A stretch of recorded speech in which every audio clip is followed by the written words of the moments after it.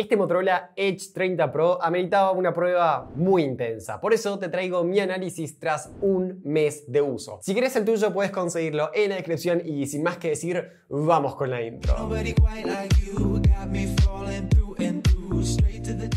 Tiene un Qualcomm Snapdragon 8 generación 1 con 12 GB de RAM y 256 GB de almacenamiento interno, no ampliables mediante microSD. Lleva un panel POLED de 6,7 pulgadas con resolución Full HD y una tasa de refresco máxima de 144 Hz. La batería es de 4800 mAh y en su caja incluye un cargador de 68 watts que demora solo 15 minutos en cargarlo de 0 a 60%. Tiene protección IP53, es decir, contra el polvo y salpicaduras desde mi punto de vista se queda algo corto para su gama, estaría bien un IP68 para estar más protegidos. No hay dudas que es uno de los celulares mejores construidos por parte de Motorola, a la par con el One Zoom que presentaron hace unos años. Su parte trasera está fabricada en Gorilla Glass 5 con un tratamiento donde no quedan tan marcadas las huellas. Además es súper fácil de limpiar. El frontal, en cambio, está protegido por Gorilla Glass 3 y los laterales que vemos por acá están fabricados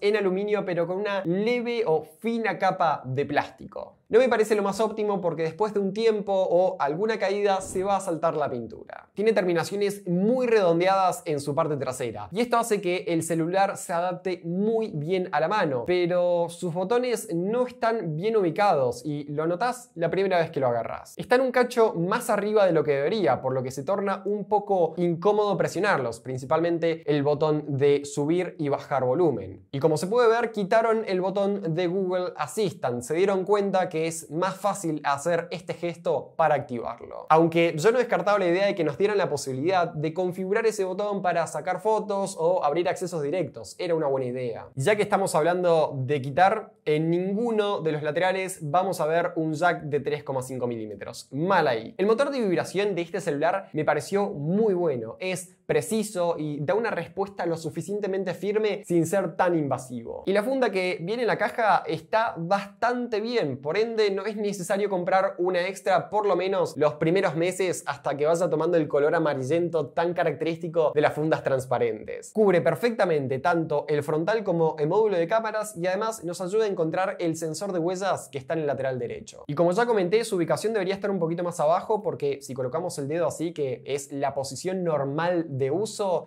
queda medio tras mano. Pero si hablamos de su funcionamiento, es rapidísimo, preciso y no falla nunca. De hecho, aunque tengamos los dedos húmedos, desbloquea sin problema. Ahora toca hablar de su batería. Rinde en promedio de 5 o 6 horas de pantalla activa. Un rendimiento suficiente para llegar al final del día, pero algo justos. Lo copado es su cargador de 68 watts, que si desean ver minuto a minuto su carga, les recomiendo pasar por el Instagram del canal o TikTok y buscar su prueba. Pero como dije al principio, demora solo 15 minutos en cargarlo de 0 a 60% y poco más de 30 minutos de 0 a 100 una bestia. Y para si tu batería no rinde lo mismo, pueden ser dos factores. En primer lugar, porque tenés las llamadas mediante 4G desactivadas, te recomiendo que lo desactives. Y además, algo importante es que en la red preferida estés con 5G y en tu ciudad no haya 5G como me pasa a mí. Así que colocas 4G y ya no se va a estar forzando tanto. Acá vas a notar que consume menos batería y también que calienta menos. Esto también pasa en el Moto G200. Es un bug del software que tienen que solucionar lo antes posible. Lo último para agregar es que es compatible con carga inalámbrica de hasta 15 watts y también podemos cargar nuestros gadgets, ya sea un smartwatch o tus auriculares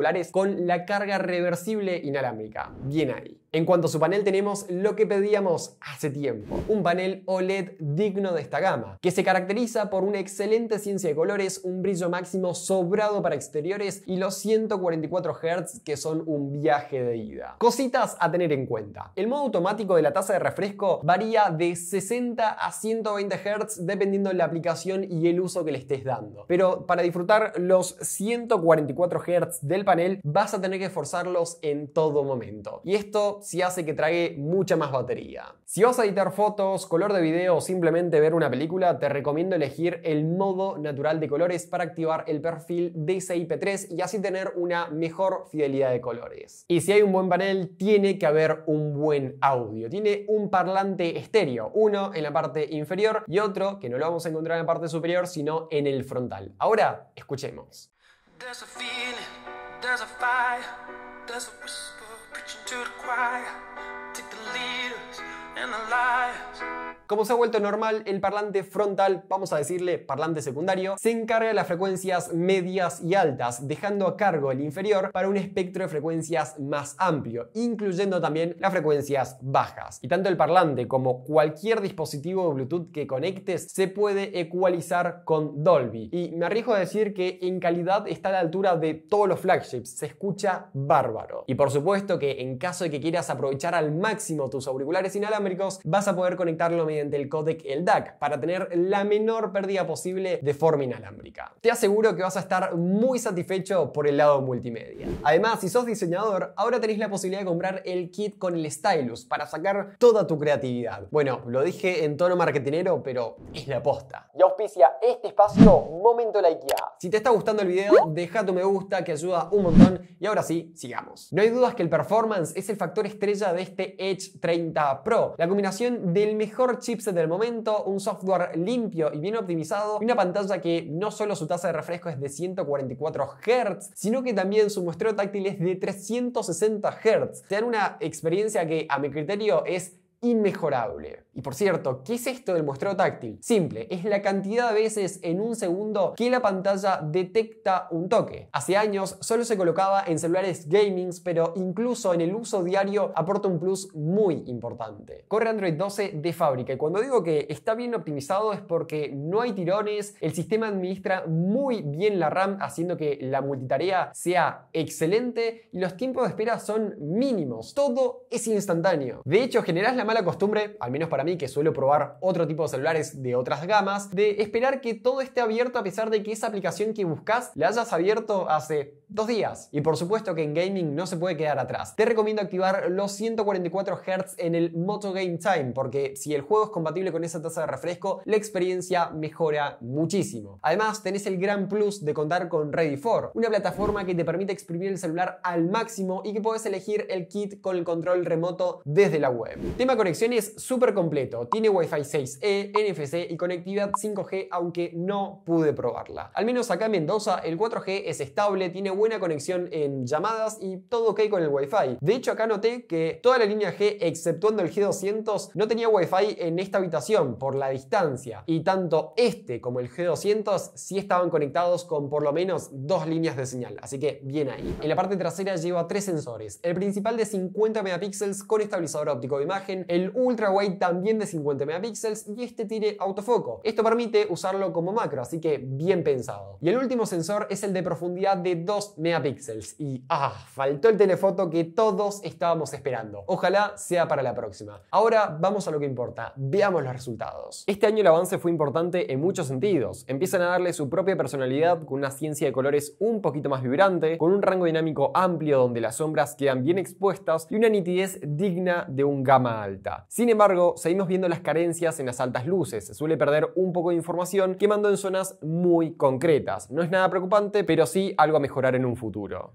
Por otra parte, el ultra wide tiene buenos resultados, pero en la sombra se nota un aumento excesivo de luminosidad, que crea una especie de neblina, pero en todo lo restante está ok, aunque no termino de notar los 50 megapíxeles, porque al hacer un leve zoom se nota el ruido, y entiendo que no se toma a esta resolución, pero en ajustes tampoco te deja forzar las fotos con el ultra wide en 50 megapíxeles.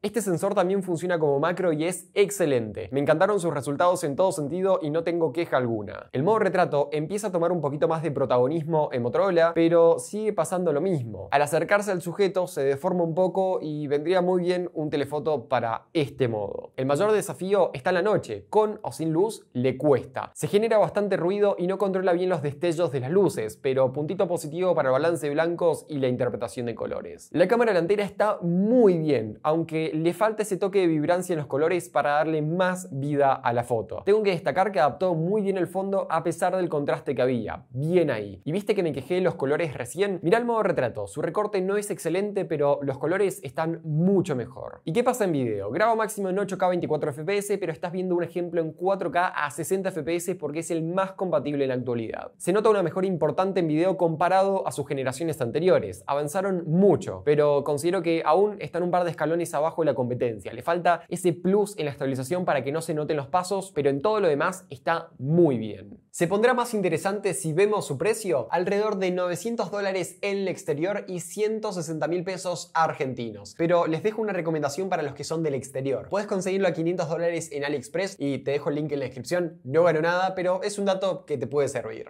No hay dudas que el Motorola Edge 30 Pro es un tope de línea. Tiene una excelente performance, muy buena pantalla de audio y estamos súper cubiertos en autonomía. Y algo que no suelen traer los flagships, un cargador. Y acá es un buen cargador. Pero, y sí, siempre hay un pero, hay un par de cositas a mejorar. Para este segmento es ley la protección IP68, también tener un telefoto con estabilizador óptico y para muchos es esencial que sea dual SIM. De hecho, en el slot viene con el espacio para colocar una segunda SIM, pero no lo va a leer. Entiendo que alguno más va a agregar que a nivel cámara no está a la altura de un Galaxy S22 Ultra o un iPhone 13 Pro Max. Y la aposta es que mejoraron mucho en esta generación, pero todavía sin un par de escalones abajo, principalmente en el modo noche y en el modo retrato, porque en video increíblemente ya empieza a pelear contra los mejores. Sin embargo, también a estas cámaras le falta ese puntito extra en versatilidad que sí te podría dar un telefoto. Desde mi punto de vista es una de las mejores opciones que tenés en este rango de precio y es un celular que el pasar de los años no le va a afectar o no le va a pegar tan fuerte. Así que si ya lo compraste, disfrútalo. Y si querías sacarte la duda de si es una buena compra o no, sí lo es. Supuesto que si quieres el tuyo, puedes conseguirlo en la descripción. Y si te gustó este video, me ayudas muchísimo con un me gusta, suscribiéndote, activando la campanita.